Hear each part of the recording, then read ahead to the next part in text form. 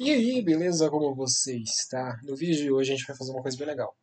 Teve um vídeo que eu fiz que foi basicamente como a gente faz para fazer um, uma search, né? Aqui, então a ideia é que a gente digitasse um, uma palavra aqui e fizesse um, um filtro é, na lista e buscasse, né? Fizesse basicamente um componente de search. Eu fiz esse vídeo, ficou bem legal, é, deu uma repercussão boa. Mas uma questão que eu, que eu recebi é como que a gente faz para lidar quando tem caracteres especiais. Então, por exemplo, aqui, ó, a gente tem Curaçao, Paraná, München, São Paulo, São Carlos. Então, como que a gente poderia fazer essa implementação é, se caso a pessoa digitasse Curaçao, ela filtrasse Curaçao? É, como que a gente poderia fazer isso? Bom, vamos lá, eu vou mostrar para você como que a gente faz isso. Mostrar aqui o código, como que tá. Então a gente tem aqui, basicamente, que eu tenho é só um, um input. Vou mostrar o JSX aqui, JSX aqui primeiro. É, eu tenho um input aqui, tenho uma div, estou fazendo um map aqui por é, lugares que estão hard-coded aqui no, no, no, momento, né? não, não tem porquê eu buscar uma API. E estou mostrando esses lugares aqui no, na tela. Tá, como que seria para a gente fazer um filter aqui sem considerar é, caracteres especiais. A gente faria um negócio de, tipo assim, né? A gente faria um estado derivado aqui que seria results. A gente vai pegar esse places, ponto filter, a gente iria filtrar, e para cada um do place, cada um desses lugares aqui, cada um dos places, né? Cada um dos places, para cada place no caso, uh, a gente verificaria se o search ponto includes é... Não, na realidade, diferente, né? Estou invertendo as bolas aqui. Se esse lugar, ponto includes, alguma coisa que está digitada aí no search. Uma coisa bem simples, assim, né? Então, aqui ele retornaria, por exemplo, se aqui tivesse um A, ele ia retornar qualquer um dos resultados aqui que tivesse um A. Uh, só vamos fazer o seguinte aqui, eu vou pegar esse results, substituir pelo, pelo places, então aqui a gente está lidando com derived states, né? E aqui eu tenho que fazer um hook, é, ligar, melhor dizendo, a conexão, esse input com o, o, o, estado ali. Então aqui eu vou pegar o value, é, vou passar aqui o search, e aqui não é search, é search, e on change, fazer o, o, o bind da função, que vai ser set search e ponto target ponto value. Então tá lá.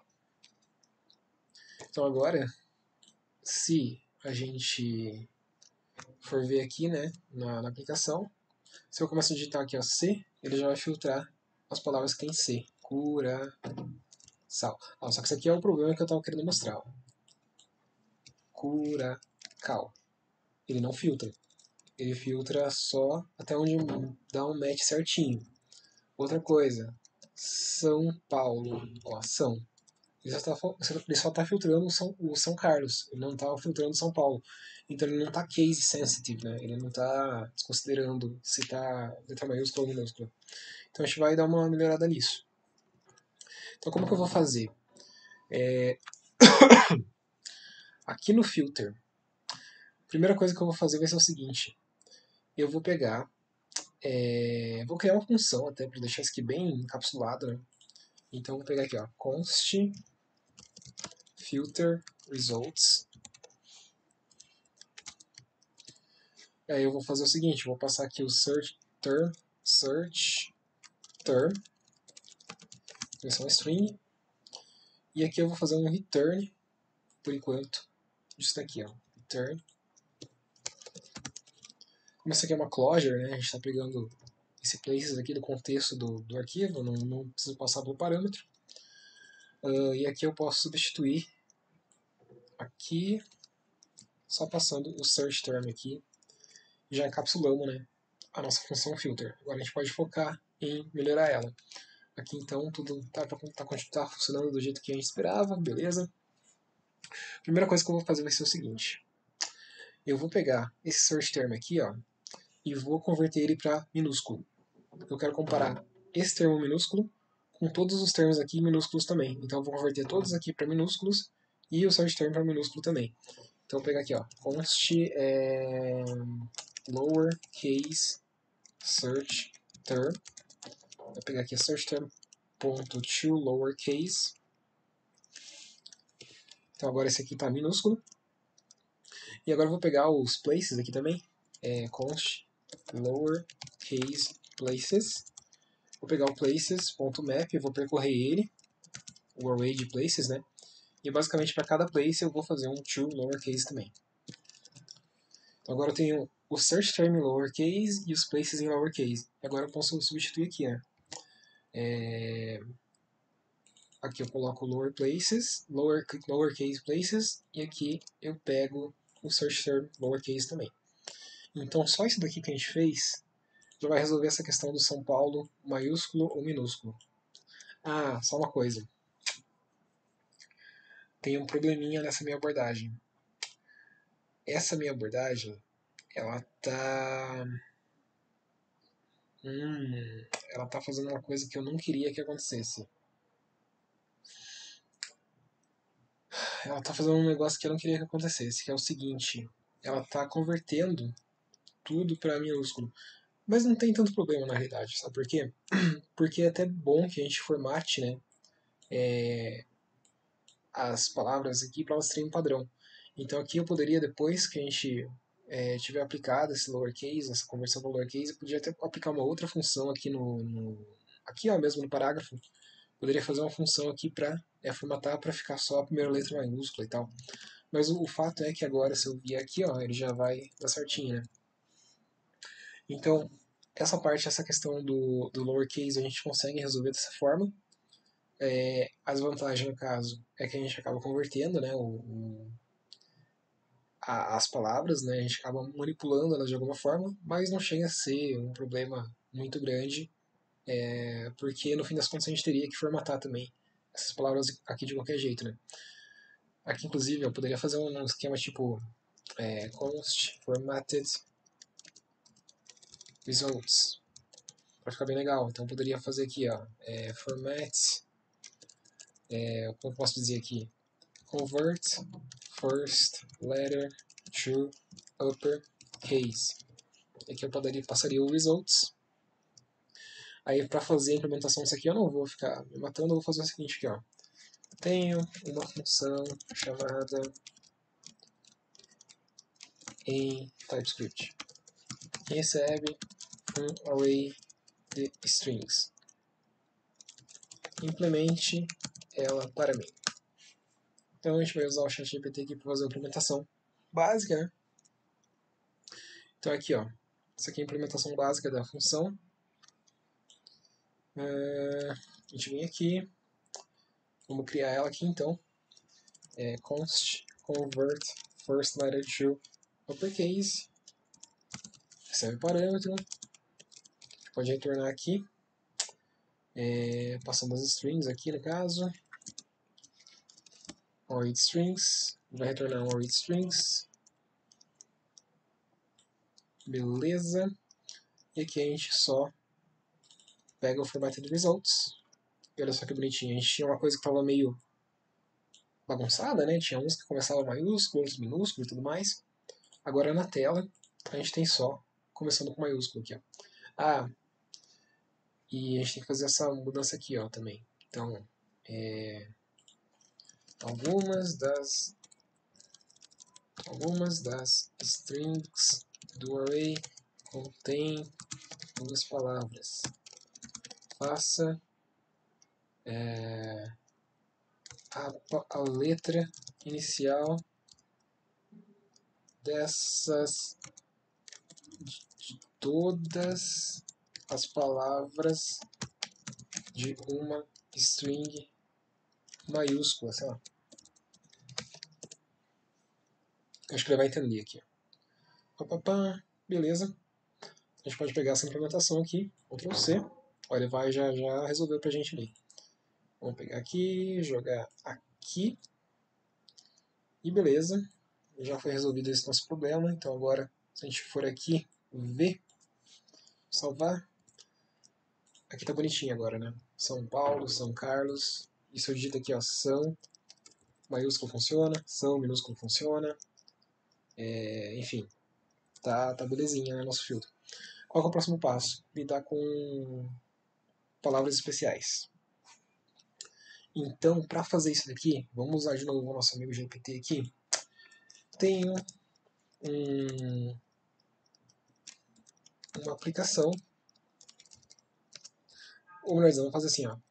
Preciso de uma função que filtre um, um array de strings dado uma string de input. Queria que esse filtro funcionasse em caracteres especiais. Exemplo. É sempre bom dar um exemplo aqui quando a gente vai fazer um, usar um código do GPT, né? Então, por exemplo, eu digito São Paulo e no array tem São Paulo, mas mesmo assim ele encontra e vice-versa. Isso vale para cedilha é, e vários outros caracteres. Vamos ver aqui como que ele se vira nisso. Então aqui ele vai...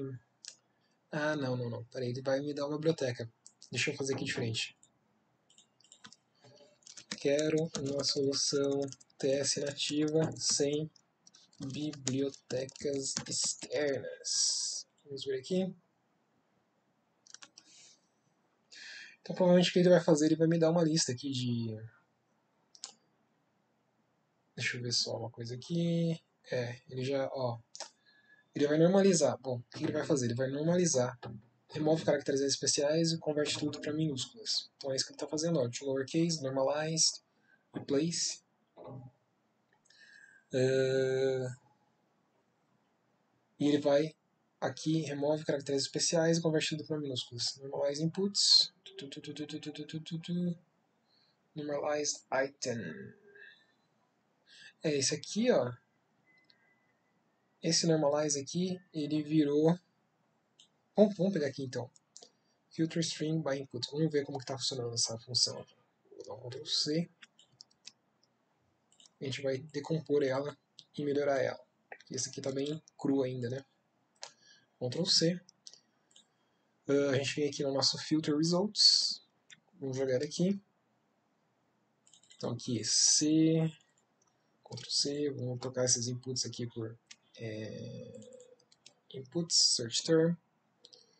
Aqui o array, na realidade, a gente vai trocar por places. É isso aí. Então vamos ver o que está acontecendo aqui. Se eu digito cura, sa, cura, sa, olha, já está funcionando. Eu já digitei aqui um C cedilha e ele conseguiu encontrar. Vamos digitar aqui São Paulo, também já está achando. São Paulo. Então, beleza, a funcionalidade que a gente conseguiu, a gente já, já quer, né? Quer dizer, que a gente quer, a gente já conseguiu. Agora vamos decompor isso aqui e tentar entender melhor como que isso foi implementado. É, a primeira coisa que eu vejo aqui é que ele tem esse normalize inputs aqui, que ele está recebendo uma string, está convertendo para lowercase, está normalizando, é, usando esse... Vamos, vamos pedir aqui para ele explicar para gente. É, cadê, cadê, cadê, cadê? Explique o que acontece aqui. E vamos colar esse código aqui. Eu quero entender esse normalize NF dele, que eu confesso que eu nunca tinha visto. Vamos ver aqui. O código funciona. Case, converte para minúsculo. Normalize NFD. Aqui estamos usando a função normalize com argumento NFD. Essa função é usada para normalizar uma string, que significa que ela substitui caracteres Unicode acentuados por esses equivalentes não acentuados. Olha só que legal. É, NFD é uma das formas de normalização Unicode que decompose caracteres, decompose aqui ficou bizarro, né? Decompõe caracteres acentuados em seus componentes básicos.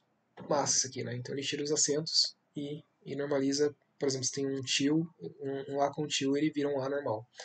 O replace, aqui ele está Deixa eu ver aqui, ele está fazendo, removendo especialmente caracteres acentuados ou especiais que possam ter sobrados. Então aqui, por exemplo, C cedilha, né? Então ele, ele, esse, essa expressão regular aqui, ela pega o C cedilha e troca por um C, por exemplo. Então é isso. Tem um, é como se tivesse uma redundância aqui. Um troca é, uma letra que tem acento por uma letra que não tem, e outro troca, por exemplo, C cedilha ou algum caractere especial por aquela versão dele que não tem. Então isso está acontecendo. Então a gente pode fazer o seguinte aqui para deixar isso aqui um pouco mais bonito. É, vamos criar aqui uma funçãozinha const é, normalize string que a gente vai encapsular isso aqui, Ctrl C, return, uh, aqui vai ser string, né?